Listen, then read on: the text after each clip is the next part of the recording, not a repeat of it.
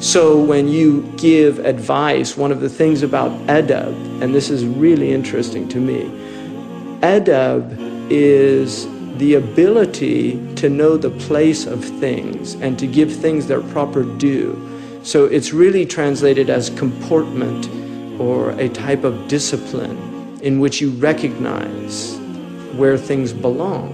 And part of recognizing where things belong is to recognize where you belong in relation to social hierarchies. I mean, one of the things that this culture almost never talks about, it talks about civil rights a lot or human rights, but it rarely, in fact, I don't think it's ever mentioned the idea of social rights.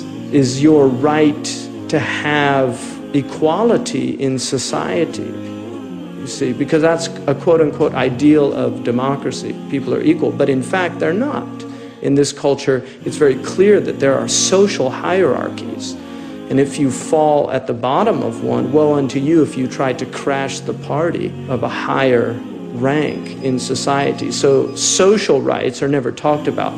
In the Islamic tradition, one of the really interesting things about Islam is it teaches us that there is an internal hierarchy that is known only to God. And therefore, it challenges you to recognize that everyone outside yourself may be better than you in the eyes of God. And so you have to have comportment with everybody, even a person that you might think is lower in social standing, they could be higher in spiritual standing. And this is why you had kings at the doors of beggars in the history of Islam. There's no other religion that I know of that has that quality, where you had literally kings at the doors of beggars asking for their prayers. The other thing that is really interesting is in this culture, you won't get people from Blackhawk or from Los Gatos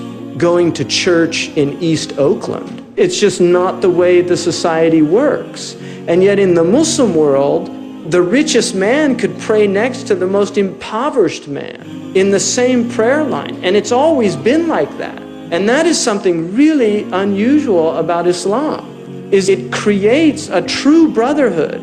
There's a recognition that people have things in the world that Allah has given them and other people lack. But that does not prevent you from seeing this person as essentially equal before God and possibly and in fact, probably, according to most of the hadiths about rich people and poor people, the poor person is probably closer to God than you are. And that instills in you a desire to actually be kind to them.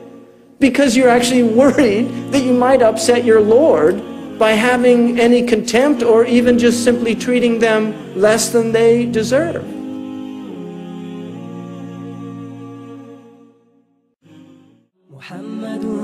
سيد الكونين والثقلين والفريقين من عرب ومن عجم. محمد سيد الكونين والثقلين والفريقين من عرب ومن